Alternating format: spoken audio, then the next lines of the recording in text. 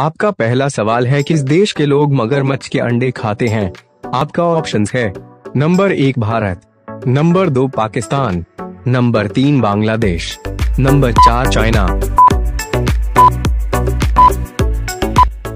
आपका सही उत्तर है चीन। आपका नंबर दो सवाल है, भारत के किस राज्य के लोग खाने में सांप के तेल का इस्तेमाल करते हैं? आपका ऑप्शन और, नंबर एक केरला, नंबर दो नागालैंड नंबर तीन, आसाम नंबर चार, पश्चिम बंगाल।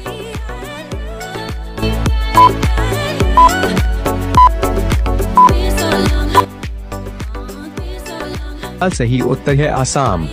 और अब आपका नंबर तीन सवाल, भारत में कुल कितने राज्य हैं? आपका ऑप्शन और नंबर 28 नंबर दो नंबर तीन, छब्बीस नंबर चार, उनत